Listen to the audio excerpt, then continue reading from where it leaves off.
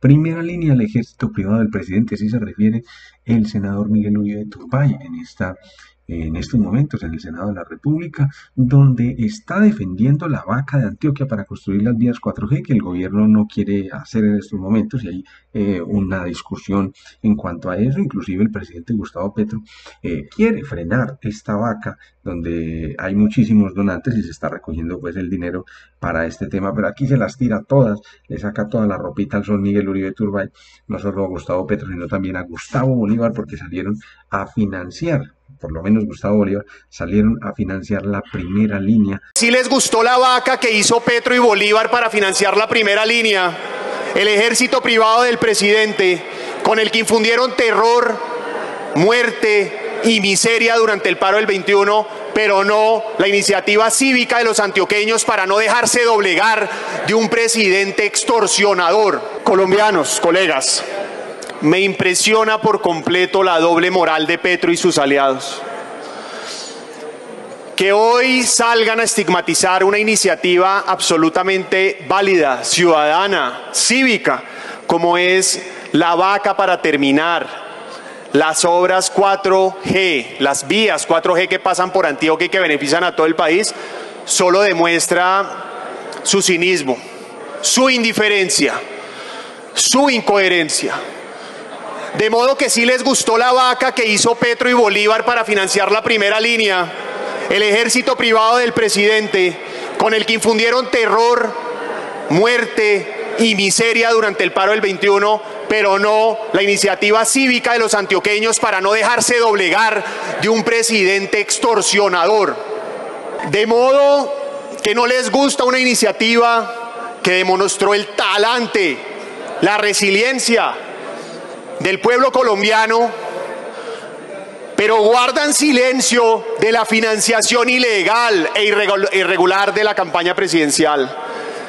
De modo que la plata que llegó con muerte y coca a la campaña presidencial confesada por el mismo Nicolás Petro, hijo del presidente, esa no amerita una sola constancia de este Congreso. De modo que todas las denuncias hechas por los periodistas demostrando el apoyo de los narcos a este gobierno en su elección no amerita una sola constancia del pacto histórico aquí. De modo que la confesión de Juan Fernando Petro sobre el apoyo de criminales en materia económica y política a Gustavo Petro en su elección presidencial tampoco amerita aquí una reflexión del pacto histórico. Pero eso sí, señalan a los colombianos que de buena fe estamos aportando a que se terminen unas vías fundamentales para el desarrollo de Antioquia y la región. Ahora, lo de un apoyo y de un impuesto voluntario es absolutamente normal y ha sucedido en muchas oportunidades. Recuerdo aquí, por ejemplo, en Bogotá, cuando Antanas Mocus promovió los impuestos voluntarios.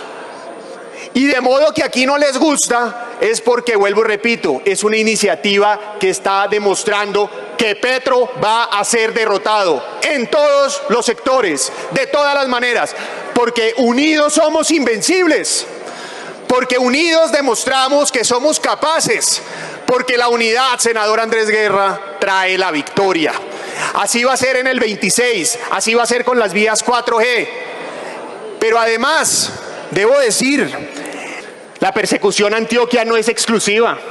Hay otras regiones que se han quedado sin sus vigencias futuras y los recursos necesarios para terminar las obras.